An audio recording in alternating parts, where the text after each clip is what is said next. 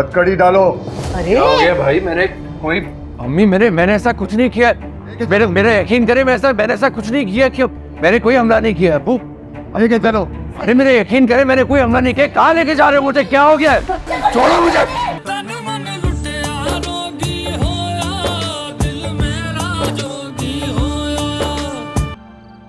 तुमने अगर अम्मी अबू को मना नहीं करना है तो ठीक है ना करो। मैं भी तुम्हारे सामने जाकर उनको मना कर दूँगा।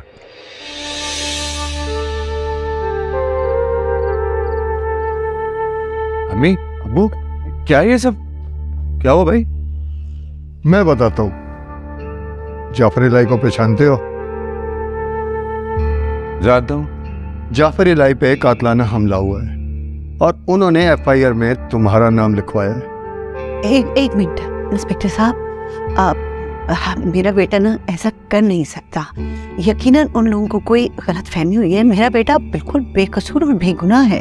आपका ये बेकसूर और बेगुनाह बेटा बड़े बड़े कारनामे सर अंजाम दे रहा है। आपको मालूम नहीं है? पूछे जरा इनसे।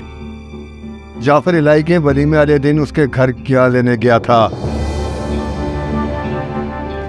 तुम उसके घर गए थे?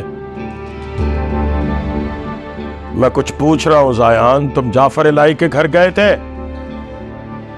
वो मैं मगर मेरे वहाँ पर जाने से इस हमले का क्या ताल्लुक है?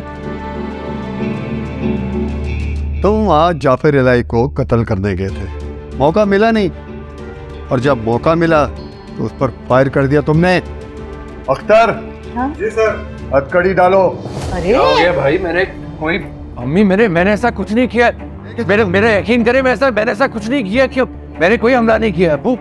अरे क्या चलो अरे मेरे यकीन करे मैंने कोई हमला नहीं किया कहाँ लेके जा रहे हो मुझे? क्या हो गया? छोड़ो मुझे। बेकसूर बच्चे को लेके जा रहे हैं सलीम। सलीम आप खुदा के वास्ते रोके उन्हें मेरे बेकसूर बच्चे को कैसे लेके जा रहे हैं ये लोग? इसे जाफ़र इलाई के घर नहीं जाना चाहिए। या अल्लाह अल्लाह मेरे बच्चे को ये लोग ले गए मैं क्या करूँ? अल्लाह रहम करते